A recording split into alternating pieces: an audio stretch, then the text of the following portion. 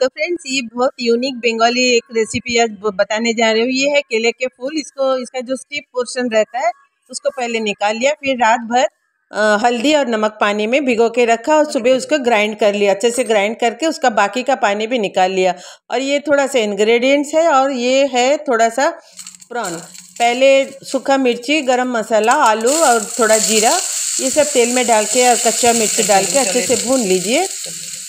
थोड़ा सा भूनने के बाद, बस थोड़ा हल्का सा ही भूनिए, ज़्यादा भूनना ज़रूरी नहीं है। उसके बाद ये जो ग्राइंड करके रखा था, केले का जो पेस्ट उसको, केले के फूल का जो पेस्ट उसको डाल दिया। उसको डाल के थोड़ा सा पा, चलाते रहिए। चला, क्योंकि अगर नहीं चलाएँगे तो एक पीता सा स्वाद आता है। इसलिए इसको थोड़ा सा चला दीजिए। उसमें डालिए फिर नमक। आपका स्वाद अनुसार नमक डालिए।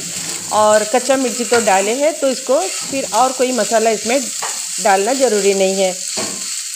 ये बहुत सी जल्द से बनता है और बहुत आसान भी है होता है। और बंगालियों को तो ये बहुत ही फेवरेट करी होता है। आ, फिर उसमें थोड़ा सा अदरक घिस के डाल दीजिए।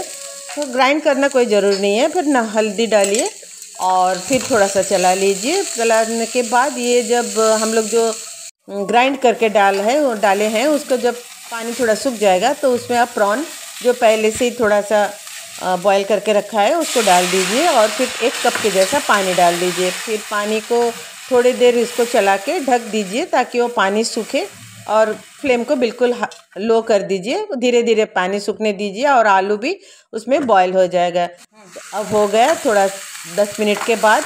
ये देखिए, ये हो गया इसका टेक्सचर और फिर इसको, अगर इस समय में चाहे तो आप थोड़ा घी डाल सकते हो या आप चाहे तो इसमें हरी धनिया पत्ता भी डाल सकते हो, वो सब टेस्ट के लिए है। और बस हो गया, इसको आप रोटी के साथ खाइए और राइस के साथ भी खाइए बहुत ही टेस्टी बनता है। थैंक यू फॉर वाचिंग अगर अच्छी लगी हो यूनिक लगी हो प्लीज़ सब्सक्राइब करिए।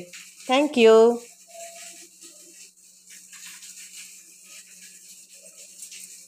यह इसका फाइनल लुक देखिए गरम गरम राइस के साथ बहुत ही अच्छा लगता है। कभी ट्राई करके देखिए।